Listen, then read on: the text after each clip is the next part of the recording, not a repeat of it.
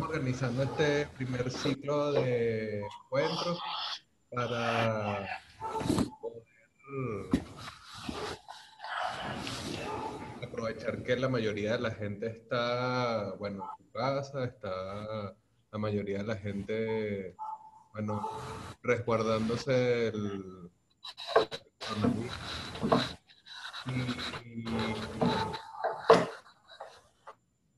bueno, principalmente ese es el, motivo por el que nosotros decidimos organizar esta serie de charlas.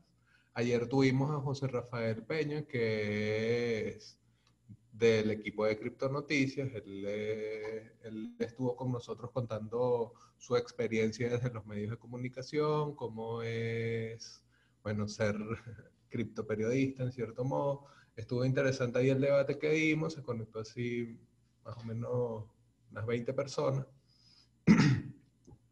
Y el objetivo de esto es, bueno, seguir hablando de Bitcoin, seguir manteniendo el contacto con la comunidad que podamos estar creando, generando el interés en esta criptomoneda. Y hoy invitamos a Francisco Calderón, que es venezolano como todos los que vamos a participar en este primer ciclo.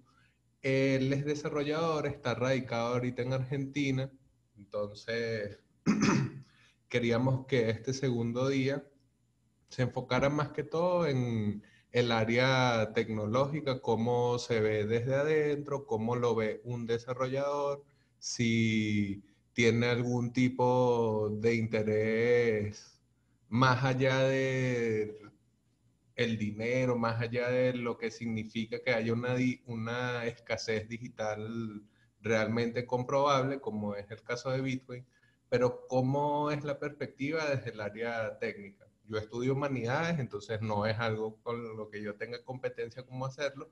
Qué mejor que traer a Francisco, que tiene experiencia además trabajando en Lightning y otras cosas que ahora, Francisco, te doy la palabra para que por favor te presentes, cuentes un poco tu experiencia, cómo conociste Bitcoin. Bueno, claro, esas siempre son las preguntas típicas para, bueno, introducir tu participación. Bueno, buenas tardes, eh, ¿qué tal? Gracias por invitarme, Javier, y eh, estás haciendo muy buen trabajo con la promoción y, y la educación de Bitcoin en Venezuela y en Latinoamérica. Eh, la verdad es que, bueno, ¿cómo? la primera pregunta es que ¿cómo, cómo entré a Bitcoin. Yo me vine, yo en Venezuela escuché mucho de Bitcoin, pero nunca le hice caso. pensaba que era lo que como nos pasa mucho que era un dinero de mentira. en realidad era que yo no, yo no sabía lo que era el dinero. Y todos esos problemas que pasaban, pasaban pasan en Venezuela, pasan acá en Argentina, yo, eh, al final, uno nunca lo entendía. Yo, de hecho, yo empecé, mi primera, yo empecé en la universidad, en la Universidad de Carabobo, el primer semestre en economía. Y obviamente no me gustó. Así que me fui de ahí. Pero no, nunca entendí la economía y bueno. Entonces, después cuando me vine para acá, para Argentina en 2015, eh, tuve la necesidad de enviarle dinero a mi, a mi familia. Y tenía un dinero en España, que alguna vez de las que fui a España, eh, creé una cuenta porque estaban con los problemas de Cadivi a veces la tarjeta pasaba a veces no. Entonces puse como 500 dólares en esa cuenta y dije, bueno, ahora que estoy en Argentina, tengo una cuenta en el banco y tengo una cuenta en el banco en dólares, dije, me lo voy a pasar. Yo de iluso me hice una transferencia de, de España para acá y me cobraron como 140 dólares en comisión. O sea, los bichos me dicen, no, es que pasó por un banco en Panamá y entonces es como si, yo pienso que debe ser que enviaron por avión los billetes, entonces tuvieron que pasar en aduana, entonces, tú, sabes, fue algo así muy rudimentario y por eso salió tan caro. Le pagaron al, que llevó el billete de la mano y así. Entonces, bueno, de ahí yo dije, no, no, esto no me vuelve a pasar. Y me puse a investigar lo de Bitcoin porque necesitaba enviar dinero. Ah, igual a Venezuela no se podía enviar, ni se puede enviar dinero por transferencia bancaria. Entonces, me puse a investigar de, de Bitcoin y ahí fue cuando llegó como lo que dicen en inglés el, el aha moment que yo dije, ¡pum!, me explotó la mente. Dije, ¿cómo no había estudiado esto antes? ¿Cómo no lo había entendido? ¿Cómo no, no me había interesado? Y eso fue a mí, pues, eso es como que una de las cosas que me, a mí me ha cambiado la vida de mi carrera, ha hecho que me cambie la vida por completo dos veces. Una, cuando entendí lo que era el software libre y el open source, y me hice activista de eso, y después, cuando entendí lo que era Bitcoin, que para mí también hay que hacer activismo de Bitcoin también, porque para mí eh, es como un, para mí es un movimiento político, o se pueden hacer movimientos políticos a partir de ahí. Entonces, bueno, ahí empecé con Bitcoin y cada vez más, más entendía más ignorante me sentía, que me sigue pasando. Mientras yo más estudio, es como que me siento más ignorante porque me doy cuenta de lo, lo grande que es y todas las ramificaciones que tiene. Pero me gusta más, así que sigo, sigo y sigo y sigo. Y bueno, me fui, después quise hacer un sistema eh, con Bitcoin, pero los fees eran muy, muy altos. Eso fue en 2017. Y bueno, yo antes hacía quinielas de fútbol para, mis amigos y era todo un desastre porque eh, siempre me pagaban en efectivo mis amigos, pero después me invitaban a los amigos del amigo y el amigo del amigo. Y, al final tenía como 200 personas que me enviaban el último día antes de empezar el, que mundial y eso, me enviaban por transferencia y era un desastre. Yo no podía conciliar las cuentas. Entonces yo dije, voy a hacer esto más. Entonces dije, voy a hacer algo parecido, pero con Bitcoin. No podía por los fees. Y me puse a investigar y conseguí Lightning Network y dije, esta, esto, es, esto es la solución, vamos a probarlo. Entonces me puse a investigar, a leer, a estudiar, renuncié a mi trabajo y yo dije, puedo hacerlo, puedo renunciar a mi trabajo y me encerré tres meses aquí sin, sin buscar trabajo, sin mi novio así como que, mm, bueno, yo te creo, no sé, espero que no, no tengamos, no vengan crisis, tiempos de crisis. Y yo, no, tranquila, no va a pasar. y nada, me, puse a estudiar como un loco Lightning y hice Microbit, que fue como una prueba, una prueba de concepto. Y ha seguido funcionando, ya va a tener dos años. Y bueno, solo de boca en boca, si hay, ahora, no, ahora no está funcionando porque no hay fútbol. No hay ningún evento deportivo, entonces nadie apuesta, obviamente pero solo, pero tenía bastantes apuestas y, o sea, estaba buenísimo y es, no es para, en realidad, a mí, lo, a mí me gusta apostar como que con un amigo y eso y apostar como, no sé, por decirte, no sé, 5 dólares, así, no, no, a mí no me interesa eh, ganar dinero, sino como decimos en Venezuela, el chalequeo del otro día. Entonces, Micro es más o menos para eso. Y ahí, bueno, y ahí me puse con Lightning, eh, se, se, dio a conocer. Eh, me ofrecieron un trabajo en una empresa de, que, se llama, está muy, estamos muy relacionados con Lightning y Bitcoin. Y yo, yo quería solo un trabajo que tenga que ver con Bitcoin y con Lightning si era posible. Y así fue. Y he tenido suerte y ahora no salgo de acá.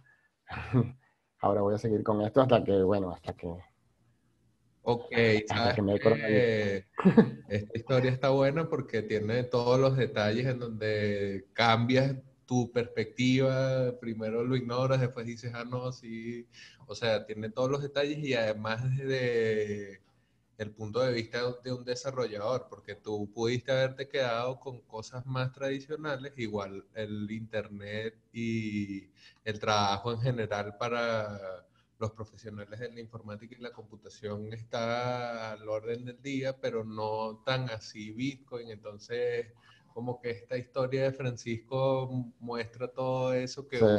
conseguir en ese momento en el que, bueno, te das cuenta de que Bitcoin tiene un significado, bueno, importante para lo que uno está buscando y quiere hacer. En esto que describiste, dijiste que había cambiado un poco tu carrera, pues quisiera que hablaras un poco de tu background técnico, o sea, de dónde venías antes de que, bueno, todo se, traspapelara positivamente, afortunadamente, con Bitcoin. Eh, bueno, yo trabajaba mucho, siempre he estado eh, desde que descubrí el software libre, lo entendí, he estado en y, Y eso por la universidad estaba loca negra, que tenía que usar Windows, todo eso. Y ya como que no me importaba, aunque era más difícil de usar y las herramientas eran, eran más difíciles de usar, menos, están menos pulidas o estaban menos pulidas. Eh, lo importante para mí era la libertad que me daba Linux, que no la tenía con Windows. Entonces, eh, con Bitcoin, pienso que también lo que me, motivó a usar Bitcoin es la libertad, la libertad que te da como persona, ya no solo a nivel de software, sino ya te da una libertad. Eh, tus decisiones en la vida real pueden ser diferentes conociendo eh, un dinero que, te, que, que sabes que, que, no va a pasar como el bolívar o el peso argentino. Entonces ya tú, ya, ya te cambia, no solo como el software que, me, que que también es importante en la vida real, que nosotros le explicamos a la gente que, que el software está en todos lados, que la gente pensaba que el movimiento de software libre era solo para, para programadores y para nerds, pero en realidad, fíjate que Bitcoin no fuera posible si, si no, hubiera, no existieran las licencias de software libre. No existiera lo que es hoy, o sea, no tuviera el apoyo que tiene hoy, no tuviera la cantidad de programadores genios que están ahí trabajando y contribuyendo si fuera algo patentado y trabajado y hecho por una empresa, por ejemplo. Entonces, eh, fíjate que es, entonces, esa libertad del software es como una, es un tsunami de, de que te puede abrir puertas y te puede eh, generar más, más soluciones para más problemas. Y el ejemplo más claro para mí es Bitcoin. Entonces, eh, eso, para mí Bitcoin eh, me ha cambiado como no solo la manera en que yo me desenvuelvo frente a la computadora, sino en la vida real. Sí, eso creo que nos ha pasado a casi todos los que terminamos enfocándonos o dedicándonos a investigar esa tecnología porque, o sea, al final tiene demasiadas aristas, son demasiadas cosas que se combinan, son muchos elementos juntos como tal para uno quedarse indiferente, pues o sea, es difícil que uno entre en contacto con Bitcoin y que es indiferente. Así no te interese Bitcoin directamente. Alguna cosa de todo ese cúmulo de conocimiento que hay alrededor de Bitcoin va a terminar haciéndote clic y bueno, creo que ayer lo vimos con José, él, no estudió periodismo como tal y terminó estando, o sea, dentro del equipo organizacional de un proyecto editorial, bueno, exitoso como ha sido Cripto Noticias, y entonces ahora escuchamos las anécdotas de Francisco y vemos que hay un patrón ahí similar que esta tecnología al final es tan disruptiva que incluso a uno mismo como sujeto le hace hacerse muchas preguntas. Quisiera entonces saber, dentro de todas esas preguntas que tú me imagino que te has hecho, ¿cómo le vas dando respuesta tú desde los proyectos, desde tu práctica, que has dicho varias veces que está muy relacionada o tiene raíces profundamente eh, relacionadas con el código libre, entonces me imagino que venías de una práctica así como bastante tranquila, no, o sea, digo, no necesariamente como un banquero, por ejemplo, que muchos mm. bitcoiners vienen de ese lado y el cambio es totalmente radical, de repente en estas áreas del conocimiento el trabajo no tiene ese perfil así. Entonces por ahí después de ese momento, ajá, después de la transformación y dices, ajá, ahora voy a hacer proyectos, me voy a meter a buscar trabajo y tal. ¿Cómo es eso? ¿Cómo un desarrollador que nos esté escuchando aquí, cómo si de repente este es su momento, ajá, cómo hace ahora? Sí, bueno, yo le recomiendo que haga lo mismo que hice yo. Olvidarte del mundo por un tiempo. Tú ves cuánto tienes reunido para olvidarte del mundo y encerrarte a estudiar sin, sin afeitarte ni bañarte. Mentira, te puedes bañar. Pero eh, solo estudiar, estudiar y si te apasiona, porque si no te apasiona, busca otra cosa. Eh, si lo haces por el dinero, busca otra cosa. Eh, yo por dinero pude, haber trabajado en Microsoft, por ejemplo. He tenido oportunidad de trabajar en empresas así y siempre me he negado porque vengo de ese perfil de software libre. O sea, para mí eh, el dinero es solo una herramienta, pero no un fin. Entonces, no estoy en Bitcoin por el dinero y de hecho espero que siga abajo por buen tiempo y bueno, después ya que, suba cuando tenga que subir, pero eh, yo le recomiendo eh, al que le gusta esto que vaya por él ya, que no espere, o sea, encerrarte a estudiar, no estudiar, o puedes también, si, si, no, si no puedes hacerlo, bueno, llega, llega todos los días de tu trabajo y te pones una hora o dos horas, que también lo he hecho muchas veces, y eso lo, hice, eso lo hago desde que, desde que llegué a Argentina, vi que la competencia en desarrollo era muy grande, los desarrolladores aquí están muy bien preparados. Entonces, desde que llegaba a la casa, todo el día de trabajo, llego a la casa y una o dos horas estudiando de, de cosas de desarrollo relacionadas con el trabajo. Pero cuando entendí lo de Bitcoin, yo necesitaba aprender lo más rápido posible, no una o dos horas al día. Entonces, por eso renuncié y me puse a estudiar. Entonces, yo lo que recomiendo es eso. Depende de tu urgencia. Mi urgencia era esto debía haberlo hecho hace cinco años. Así que eh, lo voy a hacer ya lo más rápido que pueda. Y, bueno, si, si, es complicado, es, lo, que yo hago es buscar otra fuente que lo explique de una manera diferente. Entonces, a lo mejor, eh, cierto aspecto me hace más fácil con un autor. Después puedo volver al otro, porque ya entendí la parte que no entendía con, con otra persona o con, un, o con un documento oficial. Entonces, nada, como dicen por ahí, querer es poder. Esto me recuerda mucho, eh, bueno, gracias a todos los que se van conectando por ahí, no han perdido mucho de nuestra charla con Francisco, estamos hablando un poco de su background, la relación que tiene la perspectiva del código libre con Bitcoin y un poco cómo dio el salto hacia esta tecnología. Eh, me parece que lo que dice Francisco de que hay que dedicarse a estudiar es algo también común a todos los que nos hemos terminado relacionando y metiéndonos de cabeza en Bitcoin o en su tecnología, en cualquiera de las industrias cercanas. Y me recuerda la anécdota de Andreas Antonopoulos, que él siempre cuenta que dejó de comer así que estuvo un mes y pico que no comía bien, que lo que hacía era solamente leer y tal. Y es que, claro, o sea, uno se da cuenta que hay tantas cosas que necesitas saber para poderte hacer bien tu idea sobre la tecnología, para poderte hacer bien tu idea sobre lo que tú vas a hacer con esta nueva cosa que tienes ahora en las manos.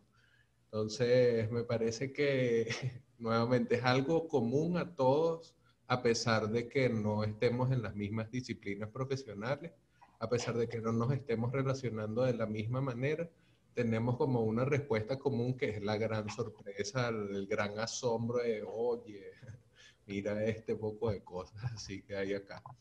Bueno, eh, los problemas así más, más difíciles que te ha tocado enfrentar con tus proyectos o de repente también ese salto definitivo, quizás hubo momentos de crisis ahí en el que tú dijiste, bueno, tengo que mantenerme aquí con mi decisión. A mí sí me llegó a pasar eso, que yo dije, bueno, me voy a dedicar solo a escribir sobre Bitcoin. Y al principio era difícil porque uno, o sea, yo por lo menos ahorita en Cointelegraph rechazo artículos. Digo, no, ese no lo voy a escribir. Y bueno, eso es menos dinero, entonces uno como que tiene que reinventarse por otro lado pero eso, o sea, ¿cómo, cuáles han sido, cuáles han sido los principales problemas que tú has conseguido, bueno, como desarrollador y bueno, como Bitcoiner también en dar el paso completo como tal?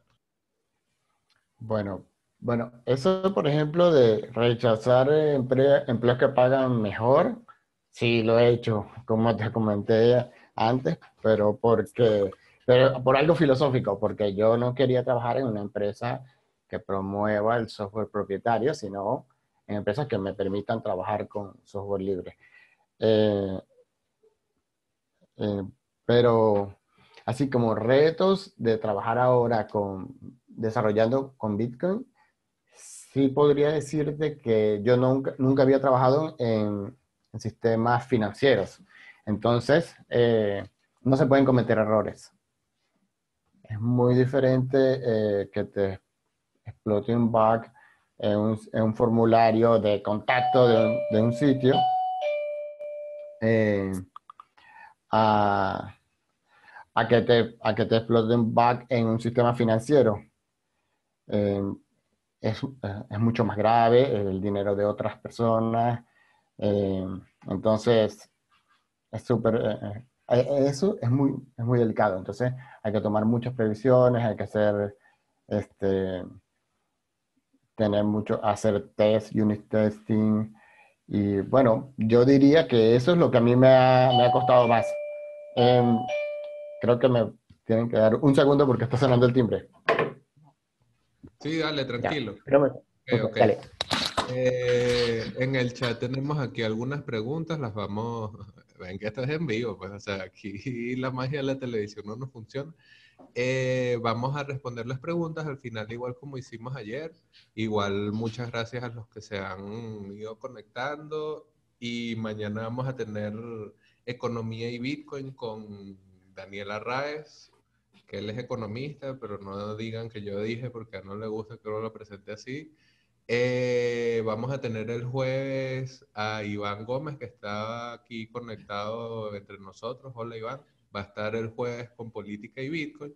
Y el viernes vamos a tener a Alberto Cárdenas, que es un trader venezolano, de repente lo han visto por ahí en Twitter, eh, mercados y Bitcoin. Ven que todo es sobre Bitcoin es con este mismo tono, tratar en lo posible de que no sea un fastidio monótono aquí yo hablando horas, sino conversando con personas que tengan experticia en esas áreas para ver, bueno, eso que veníamos hablando de que hay demasiadas cosas, demasiadas aristas que ver de Bitcoin.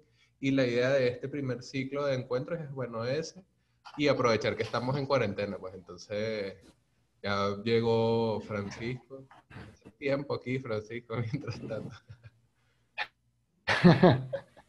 bueno, fue rápido. No, claro, no, tranquilo. Eh, es que además que estando en vivo no hay, no hay forma de uno evitar esas cosas.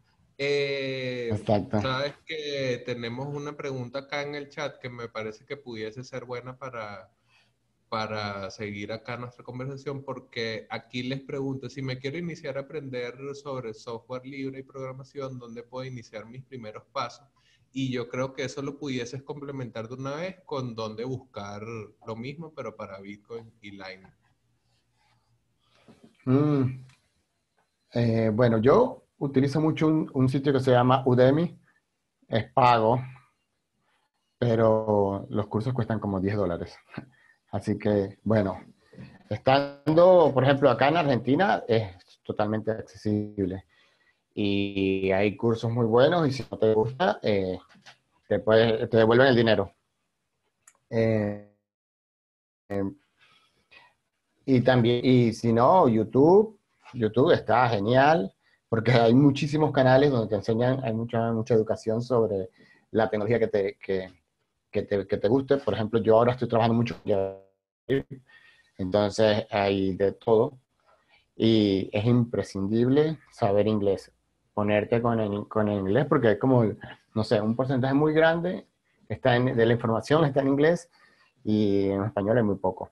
Y de Bitcoin sobre todo, y Lightning no, hay casi prácticamente nada en español. Eh, eh, he estado informando el año en español, pero no he, logrado hacer mucho, pero está entre los planes de hacer alguna, como algunos tutoriales. De hecho, cuando di, unos workshops el año pasado y este año, eh, generé una guía que la tengo en, mi GitHub, pero quiero pulirla y, y, ponerlo así como más organizado. Eh, Bueno, yo lo que te recomiendo es eso. O si puedes, Udemy, que hay cursos muy buenos y muy baratos, YouTube, y la documentación, por ejemplo, en Lightning. Eh, te diría los bolts, que son los, como las especificaciones, pero depende de, por ejemplo, empezar solo con, eh, de, una, yendo al bolt, a los bolts, es como muy pesado. Es información demasiado técnica. Entonces, para mí, lo mejor eh, ha sido la página de, en la página de Lightning Labs, tiene una sección de developers y hay tutoriales bastante fáciles de seguir y están muy bien explicados. Así que yo empecé por ahí. Y en el canal de ellos, en Slack, en los canales que tienen, ellos responden súper rápido. Son, es como que es muy activa esa comunidad. Tiene como 4.000 personas en, esos canales. Entonces, siempre alguien te va a responder sí, te recomiendo, eh, por, lo, menos en Lightning, eh, la parte de, de, develop, de development de, Lightning Labs y, y, eso, y googlear mucho. Sí, además que el software libre, uno, todos los comandos tú buscas en, en Google y te va a decir resudo no sé qué, y tú ahí vas en tu consola le vas metiendo. Pues si es por por ir aprendiendo poco a poco, porque bueno, al final también es importante no lanzarse al vacío ahí de una vez, no es que dañar tu compu inventando ahí locura.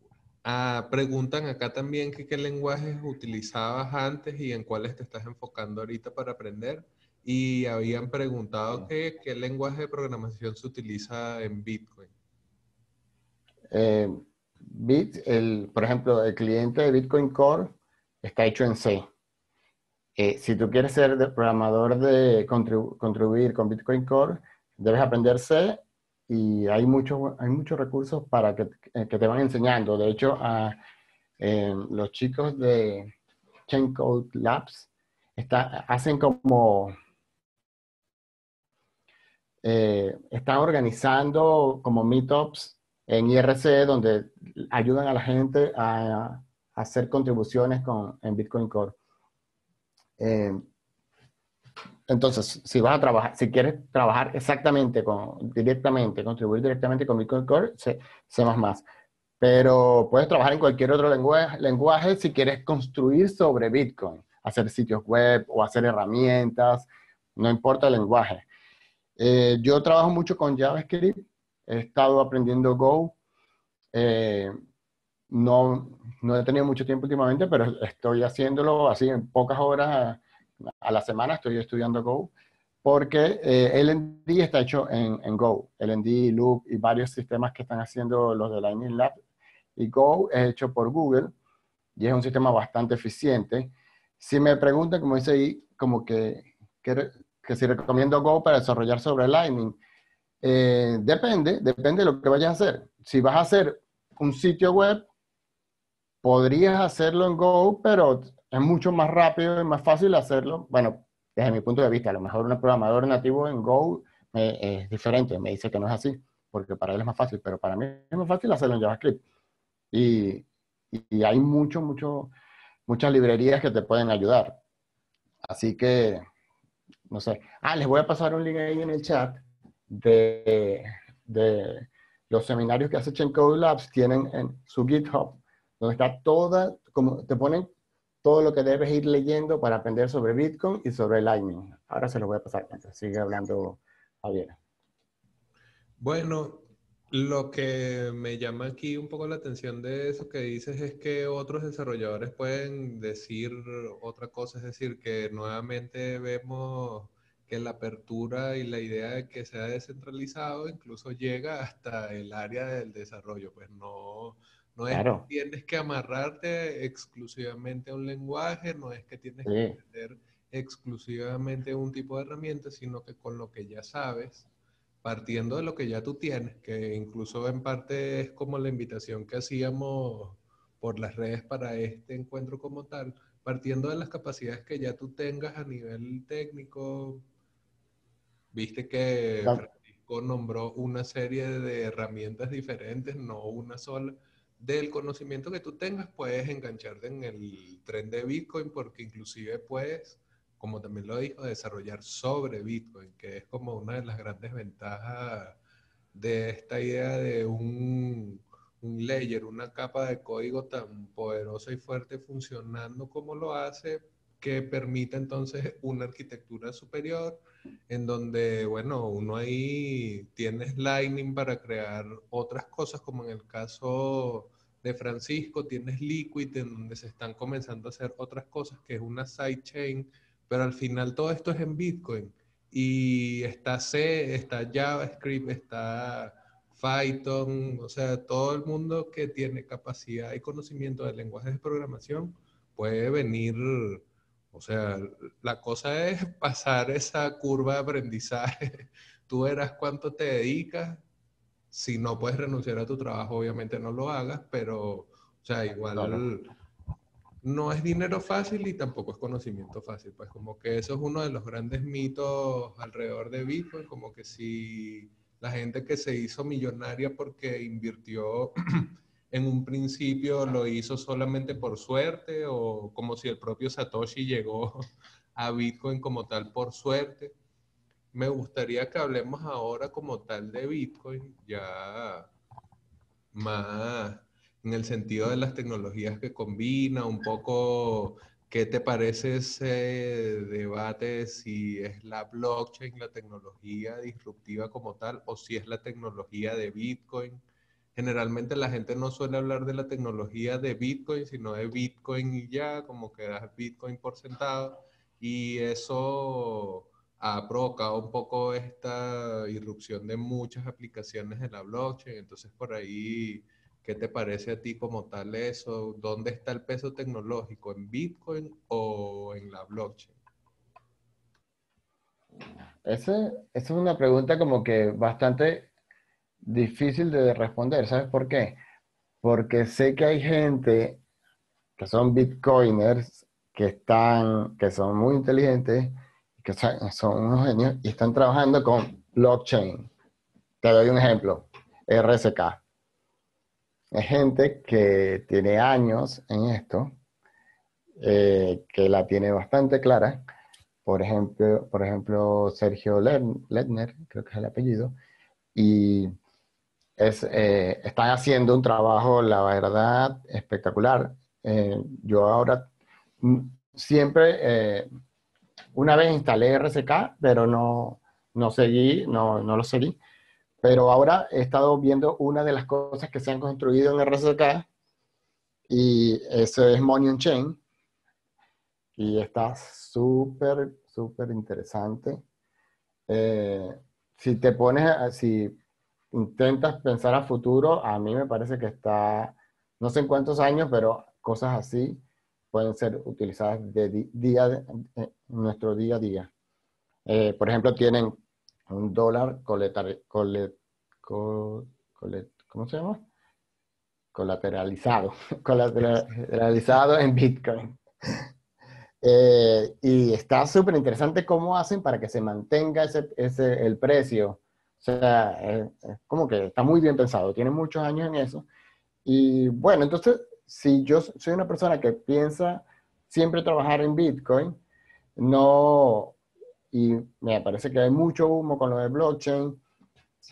Hay como que hay un pequeño nicho que me parece que sí le da utilidad a, a este tipo de tecnologías que están basadas en los, en los contratos inteligentes de Ethereum, porque RSK es el 99% de Ethereum, es exactamente igual a Ethereum. Entonces, y, y como está sobre la red de Bitcoin, me, me parece que es mejor que sea una red independiente. Y además que RSK está asegurado por, por, por, los, por Bitcoin, por la red de Bitcoin, porque ellos le, le dan como una parte de, tiene como, tienen un sistema para que los mismos mineros de Bitcoin incluyan RSK y se queden con una comisión que ellos, que RSK paga. Entonces, es como que hay que poner el ojo ahí. Ah, yo sigo con Bitcoin directo. Ahora estoy aprendiendo scripting, Bitcoin, Bitcoin Script. Y que eso es algo que a mí me parecía súper oscuro y difícil. Pero es como eh, cuando alguien lo que yo siempre le recomiendo a la gente, cuando algo te parezca, algo te parezca difícil, espera, espera o busca, por otro lado, investigar para que vayas aclarando, porque a lo mejor es que no tienes unos conceptos básicos claros. Entonces, por eso es que no te, te cuesta y dices que no puedes, pero sí puedes. Entonces, ahora estoy, me parece, ahora me parece fácil el script de Bitcoin y ahora estoy muy, muy, como estoy haciendo todos los días mucho eso, pero mi, prioridad es Lightning. Eh, y bueno, lo de blockchain y todo eso, creo que eh, se ha ido cayendo por su propio peso y, y he visto solo, eh, lo único que yo he visto que, ha valido la pena es ese único proyecto, que, está nuevo y estamos viendo cómo va, cómo va caminando, pero me parece que va bastante bien. Así que el futuro, solo el futuro, el futuro está hablando, por ejemplo, en 2017, ¿cuántos de esos proyectos de verdad funcionan? Creo que ninguno. Todos esas ICO.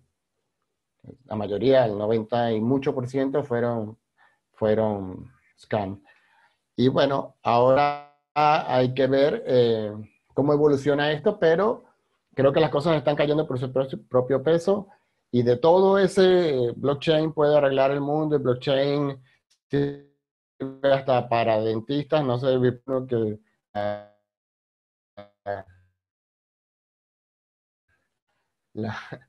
Eh, y, y, ahora solo unos pequeños están haciendo cosas como que ha seguido a flote porque es algo que de verdad tiene utilidad. No, y además la pregunta, por si hay alguien por ahí que sea pro blockchain, estamos abiertos a todas las posibilidades ya en cuarentena.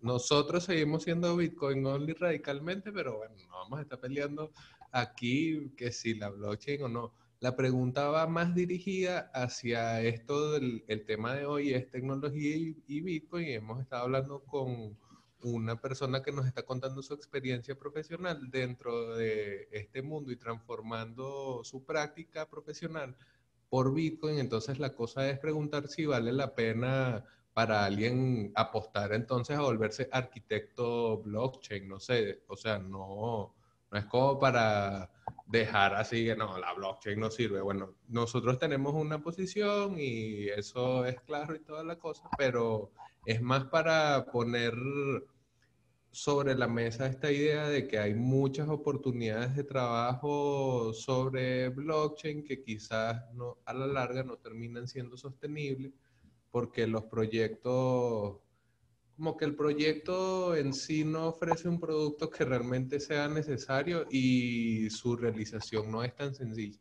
No es tan sencilla como generalmente plantean los white papers porque hasta yo podría escribir un white paper para inventar X proyectos, la cosa es tener la capacidad técnica para poder desarrollarlo y esta creación de espacios de trabajo que pudiesen llamarse sin asidero, pudiese entonces hacer que alguien tome una decisión profesional que no es la correcta, pero nuevamente, cada cual tiene que hacer su propia investigación. Recuerden que nosotros acá no estamos de expertos ni nada, sino bueno, creando el debate y bueno, juntándonos un rato para hablar de Bitcoin, porque hace falta hablar de Bitcoin.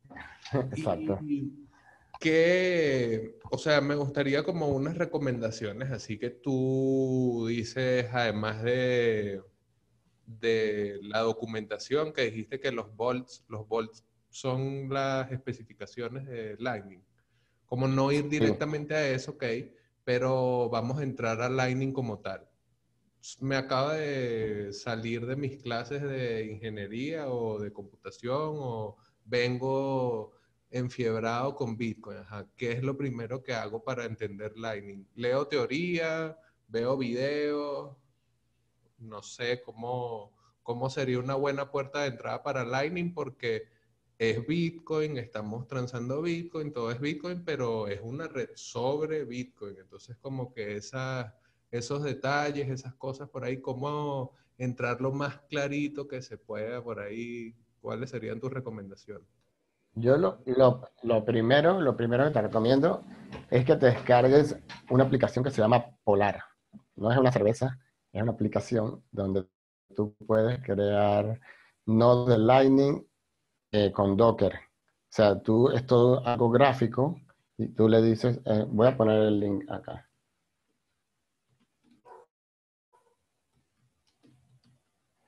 Eh, es, una, es una aplicación donde tú, es muy sencillo de usar. Tú entras y ya le dice crear la red y te dice cuántos nodos de, de Lightning quieres crear. Entonces le dice uno, dos. Bueno, uno no, porque necesitas que interactuar. Dos, tres, etcétera, muchos. Y te crea un nodo de Bitcoin Core. Y se, eh, porque Lightning necesita tener la, la blockchain de, de, Bitcoin Core. Eh, bueno, y gráficamente ya él te dice, bueno, ahora qué quieres hacer, crear un canal de un nodo al otro y todo te, te salen pop-ups y te dice de cuánto. Entonces ya al tú tener ahí la infraestructura, vas a poder entender cómo, cómo trabaja Lightning porque vas a poder experimentar. Puedes abrir una consola que te sale una consola de Linux ahí, pero puedes no utilizar la consola porque te, te muestra eh, las credenciales para que tú, haciendo un programa, por ejemplo, te bajaste una librería que se conecta con Lightning en Node.js, entonces te, descargas esa librería y en, en, los parámetros de conectarte al nodo le pones los parámetros para que te, que te dice Polar y ahí te conectas a esos nodos y puedes hacer pagos, recibir pagos, todo en esa red virtual que está ahí, es una red, eh, se llama Red, RedNet, es una red de mentira, pero eh, funciona exactamente, es lo mismo, exactamente todo el mismo código de Lightning y de Bitcoin y es perfecto para experimentar, no necesitas esperar confirmaciones de bloques ni nada, si necesitas generar bloques, hay un botoncito que te dice minar bloques. Eso es lo primero que te recomendaría, bajarte Polar, y después bajarte un tutorial cualquiera, por ejemplo, eh, eh, podría ser, bueno, vuelvo al mismo, el, los de Lightning Labs, porque ese fue mi punto de, inicio y ahora, y nunca, nunca volví a buscar otro tutorial de eso, así que debe haber otros, pero la verdad es que no sé. Eh, entonces te recomiendo eso, creo que el sitio es dev, de, pequeña, lightning.engineer. Creo que ese es el link. Ahora lo voy a escribir acá también. Eh, así que a lightning.community, es que ahora se los pongo acá. Y ahí experimentar. O sea, lo que yo, lo que yo considero que hay que hacer es experimentar. Y con, por ejemplo, con Polar, sabes que no vas a romper nada. O sea, si lo rompes, tú borras la red que creaste y la vuelves a crear. Así que no, no pasa nada. Después que cometas todos los errores que habidos y por haber, puedes intentar eh, entrar a Mainnet y ver cómo te va, si hiciste un sistema y a ver si te lo hackean y todo, que eso es bien divertido. Ok, bueno. Y cuando ya pasas esa etapa, por lo menos tú, porque bueno, ahorita no hay fútbol, no hay deportes, no hay nada y tal, pero por lo menos en tu caso, Microbet como tal, cuando ya tú pasaste Además que yo me acuerdo que yo te entrevisté esa vez y eso no lo conocía nadie y bueno, por ahí después terminó usándose bastante y era muy nuevo, o sea, creo que eso era como de las cosas más impresionantes así, mira, alguien está haciendo ya con Lightning, está haciendo un juego, un sitio de apuestas, o sea, entonces, ¿cómo fue, o sea, un poco describir ese salto ahí, ya después de haber estado, creo que en ese momento no estaba Polar, obviamente, no sé, pero además de ese salto, ¿cómo es tener un proyecto ya andando? Pues, o sea, ya, ya pasamos todo, ya dejamos atrás el código libre, la práctica como tal en Linux, ya es toda la práctica en Bitcoin, ya es toda la práctica ahora en Lightning, ahora es un proyecto en Lightning ¿Cómo es entonces esta, esta etapa ya trabajando como tal en una red nueva que tiene demasiadas esperanzas depositadas porque puede ser demasiado revolucionario? Entonces, bueno, un poco por ahí eso. Sí, bueno, Lightning, eh, cuando lo hice, Lightning estaba como súper rudimentario y no había, habían dos wallets nada más que era la de Bitcoin Lightning Wallet y la de Claire, que Bitcoin Lightning Wallet es la misma, es como un fork, creo que es un fork de Claire, pero le cambiaron la, interfaz gráfica. Entonces, era complicado. Por ejemplo, alguien me decía, quiero usar Micro:bit. Yo le digo, bueno, tienes que usar Eclair. Entonces me decían, ¿cómo? ¿Cómo? Bueno, tienes que abrir, eh, abrir un canal, no sé qué, después no puedes recibir porque le metiste plata. Y entonces, pero, ¿por qué no le puedo recibir si entonces es todo un lío? Que ya eh, tengo mejores respuestas para eso ahora, porque hay, hay wallets que, que están solucionando eso. Pero sí, mucha, muy poca gente usaba Microbit en aquella época porque Lightning era, era un solo para mil nerds en el mundo que, que lograron instalar, hacer funcionar Eclair y, la otra wallet. Eh, mantenerlo en, en producción es, eh, ha sido todo un reto porque yo he estado trabajando en otras cosas y ya yo no le dedico el día a día pero estoy chequeando todos los días que, que esté funcionando bien, que todo no se caiga, haciendo scripts para que levante si se cae, eh, chequeando los backups si se hacen bien. Em, a veces que recibo muchos ataques de gente intentando hackearlo, pero hasta ahora está bien. Eh, ese es otro de los problemas con Lightning, porque Lightning es, es una invitación a, a, los hackers. Antes los hackers querían hacerle un deface a las páginas y poner unas calaveras y decir soy malo y todo eso. Ahora no. Ahora los hackers quieren plata. Y Lightning es una hot wallet. La mayoría de las páginas de exchange de Bitcoin lo que tienen es, son, tienen, es una extended public key que generan las adreses, pero no, no tienen la plata ahí en, en el sitio. Entonces, si un hacker entra, ya no es como cuando Mt. Gox y todo eso. Entonces, ahora es muy raro que, que te saquen dinero a un exchange. Pasa, pero es raro. Entonces, eh, bueno, con, con, Lightning sí, está el dinero ahí. Entonces, si explotan un bug, eh, pueden sacar dinero. Y yo siempre tuve el, el, mi nodo con 2 millones de Satoshi. O sea, yo dije, si me van a hackear, bueno, saquen lo mínimo porque no le voy a poner. Ahora sí me siento seguro y lo he llegado a tener con 10 millones de Satoshi y ya era como que Después de estos días empecé a sacarle plata porque no vaya, no vaya a ser que pase algo raro, pero hasta ahora aguanta, aguantado. Y, y bueno, estar monitoreando siempre eh, ha sido súper interesante porque cuando estuve en la Lightning Conference en Berlín, eh, hablaba con la gente y, y, si me salía el tema de Microsoft, mucha gente que, me, lo había usado. Y yo, oh, ah, tú eres el de Microsoft. Y yo, oh, este es un mundo paralelo donde la gente me conoce. Entonces, eh, como es gente que solo era de Lightning, entonces mucha gente conoce todos los sitios que hay de, de Lightning. Entonces, ha sido una experiencia genial que, que bueno, uh, yo lo sigo manteniendo y, y, tengo un proyecto relacionado con Microbit que lo que, que no sé cuándo, ya empecé a desarrollarlo, pero pero es como muy, muy ambicioso y no sé si tenga tiempo eh, porque tengo que hacerlo como que en paralelo a mi trabajo día a día y es complicado. No sé si puede, vaya a hacer otra vez lo que hice eso de renunciar y meterme tres meses. pero, pero sí, eh, la verdad es que me, me encantó trabajar con, la, con y me gustaría hacer otro proyecto así que, que vamos a ver si se da. Ok, bueno, ya saben que no se desanimen, que capaz en el mundo paralelo del Lightning terminan siendo... Acá hay una pregunta que me gustaría hacer de una vez, porque además tiene que ver con el proyecto, que es el ámbito regulatorio. El, la, la hace Jean Andrés, pero voy a aprovechar la pregunta como tal que es sobre la regulación en Argentina y su relación, o sea, en comparación con Venezuela. Tú que estás allá, yo que estoy aquí, podemos responder entre los dos una parte, pero sobre todo asociado a los proyectos.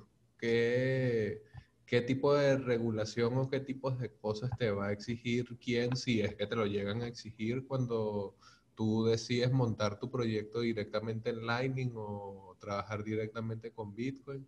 Y preguntaba si ¿crees que podríamos utilizar el, mar, el marco legal argentino o internacional para desarrollar aplicaciones que podríamos utilizar en Venezuela? O sea, porque la idea es como ver los dos marcos regulatorios, pero me gustaría más que respondieras desde eso del proyecto. ¿Qué te exigen? ¿Crees que refrena el desarrollo o como no hay, está todo libre? ¿Qué te parece por ahí? Eh, no, aquí sí están regulando. Por ejemplo, tengo un amigo que tiene un, sitio de, que es como un, como un marketplace, es un marketplace de, con Bitcoin y el KYC que tiene es, es demasiado, me parece, pero es porque lo obligan. Eh, para, estar, para estar legal, tiene que cumplirlo. Entonces, de hecho, yo, ese sitio y, y me iba a registrar y no me he registrado aún porque porque eran muchos, muchos campos, entonces en ese momento no lo hice, algún día lo haré, pero no te sé decir eh, a nivel de leyes, pero sí sé que, que hay regulación, hay, por ejemplo, y, creo que son bastante estrictos, me parece. Por ejemplo, eh, he estado en, tengo en algunos exchanges, eh, estoy, estoy registrado acá, y hay uno que me, me llegó un email y me, deshabilitaron la cuenta porque mi DNI argentino, o sea, es como la cédula, se había vencido.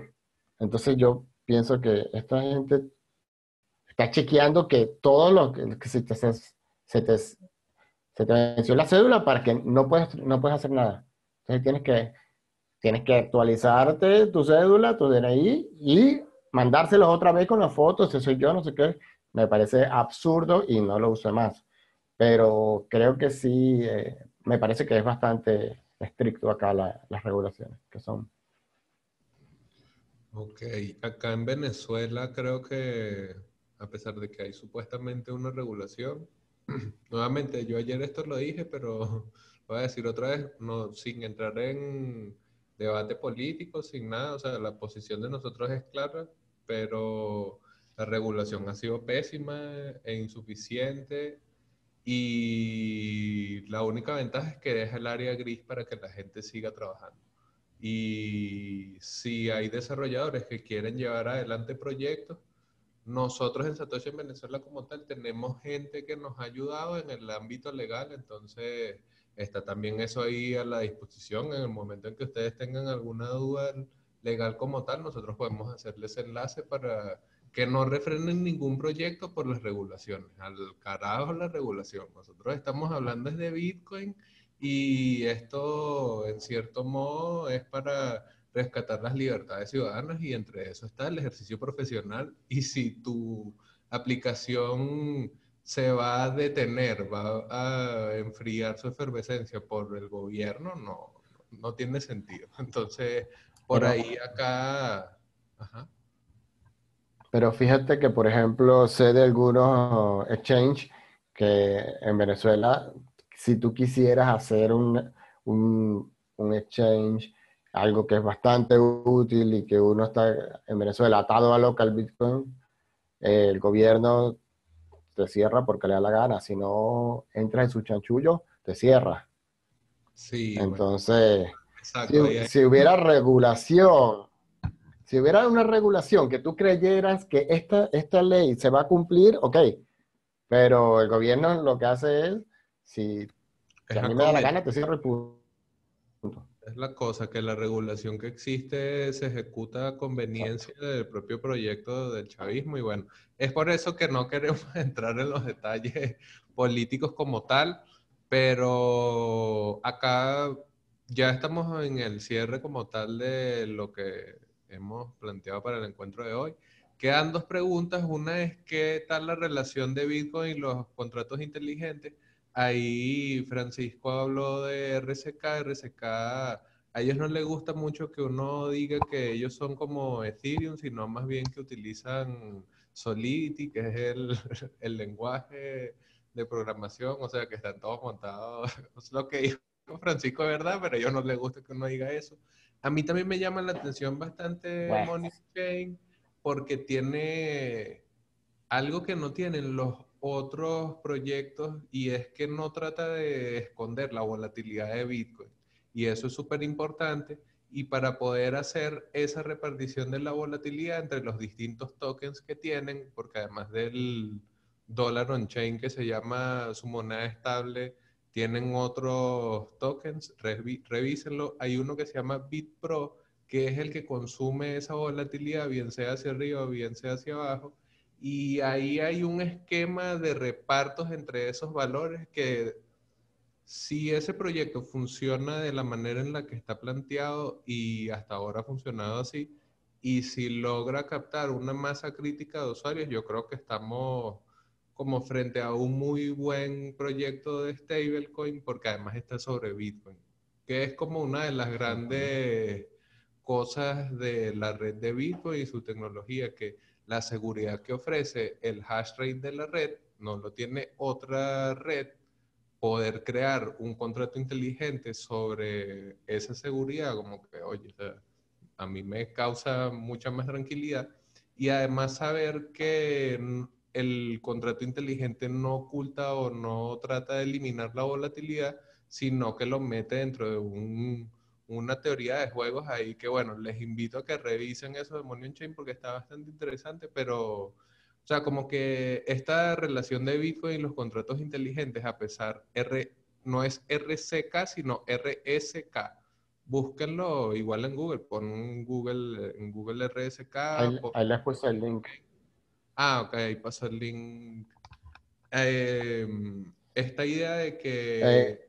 los contratos inteligentes no estén solamente en Ethereum, en EOS, en cualquier cadena alterna, sino que ya están existiendo proyectos realmente útiles en, Bitcoin como tal, con contratos inteligentes, que uno los ve trabajando como tal, ya entonces demuestra que la relación deja de ser una cosa imaginaria por ahí. Y además Lightning Network funciona en base a un estilo de contrato inteligente porque al final el HTLC, que es ese hashtag locked contract, es un contrato inteligente. Pues lo que pasa es que Vitalik es cool y es un genio súper particular y es el papá de los contratos inteligentes y tal, pero están en Bitcoin también. Pues, sí, bueno, es que los, contratos de, de, RCK son los mismos de Ethereum y yo no sé cómo se... Yo, en mi ignorancia, porque soy totalmente ignorante sobre RCK, pero no sé cómo se comportaría RSK si comienza a tener un pico de usuarios y cómo serían eh, los fees. No sé si pasaría lo mismo que un CryptoKitty en RSK vuelva a ser lo mismo. Supongo que lo habrán pensado porque, porque sí, porque son personas que están muy, muy papás de tema. Así que hay que ver, hay que ver cómo, cómo, cómo empieza a caminar esto. Pero sí, son eh, RSK es un Ethereum, pero en Bitcoin. Bueno, y... Y no, lo digo yo, si, si escuchas el, podcast de Dieguito en Lunaticon, él dice que el 99% de RSK es Ethereum. Lo que pasa es que yo estuve haciendo unos artículos por ahí y a mí me, dijeron que no, que, que, es eso. Nosotros somos eh, hmm. pero o sea, al final lo que importa es que el proyecto está dando respuestas que parecía que supuestamente Bitcoin no podía dar y o sea, al final esa idea de la minería, merged mining, eh, minería incrustada, que es la base de una sidechain como RSK, está andando por ahí desde que Satoshi escribía en los grupos de Bitcoin, o sea que no es algo descabellado, no es que una sidechain va a ser más débil a Bitcoin, al contrario, mientras más proyectos se creen sobre Bitcoin, quiere decir que es más confiable el funcionamiento de la red, siempre y cuando se mantenga funcionando como funciona, que esa es otra condición ahí, pero bueno, como ven, no es que está limitado los contratos inteligentes a suceder solamente en Ethereum. Bueno, Francisco, quisiera que nos dejaras por aquí cómo puede conseguirte la gente en redes sociales, cómo se contacta contigo si tiene alguna duda y te habían dejado una pregunta de cuál es tu trabajo día a día. En tu presentación no lo dijiste, si es un secreto no lo digas, tranquilo. Pero bueno, nada, y gracias por aceptar la invitación. Para, la CIA. un gusto, bueno, que hayas estado con nosotros acá en este encuentro, en el primer ciclo de encuentros digitales de Satoshi en Venezuela. Y bueno, gracias. Eh, bueno, respondo rapidito. Eh, trabajo en una empresa que se llama Graph. La página es Graph, G-R-A-A-F. Lo pongo ahí igual. Graph, que es una empresa de... Estamos haciendo varios proyectos, pero el principal es un brokerage que es para compañías por ahora. Y es muy, muy orientado a Lightning, entonces vamos, estamos haciendo algunas integraciones con algunas wallets, que eso sí es un, todavía no se puede decir hasta que esté listo. Y después tenemos otros proyectos que están orientados a Sudamérica, eso está bueno. Y que era el otro, ah, bueno, otro de las mis redes, nada más estoy utilizando, eh, utilizando Twitter. Eh, mi, mi, Twitter es negrunch, lo pongo acá también. Eh, esa es la única red que estoy activo y si me escriben, están mis DM abiertos y les respondo a todos. Así que, bueno, para mí es un placer que la gente eh, me escriba y si tienen dudas, yo estoy siempre ayudando y respondiendo. Y nada, gracias por hacer este trabajo y por que y sigue haciendo esta educación de Bitcoin allá en Venezuela y en todas partes. Y bueno, saludos a todos y gracias por estar acá. Bueno, muchas gracias Francisco, gracias a todos los que se conectaron. Recuerden que este mismo link les va a servir para conectarse mañana. Mañana va a estar Daniela Raez, Bitcoiner venezolano, no digan que dije que es economista, para hablar sobre economía y Bitcoin. Eh, es un tema súper interesante porque Bitcoin es dinero, pero ¿cómo que es dinero? ¿Cuáles son las implicaciones de que sea dinero? ¿Y qué es un fenómeno económico? ¿Por qué sí? ¿Por qué no? Vamos a hablar de todas esas cosas con Daniel mañana, entonces igual a partir de las 5 de la tarde, recuerden que tratamos de conectarlo lo más puntual posible para no extendernos más allá de una hora. Gracias otra vez Francisco, gracias a todos por haberse conectado y bueno, espero que hayan disfrutado este segundo encuentro del primer ciclo de encuentros digitales. Hablemos de Bitcoin de Satoshi en Venezuela. Chao. Chao.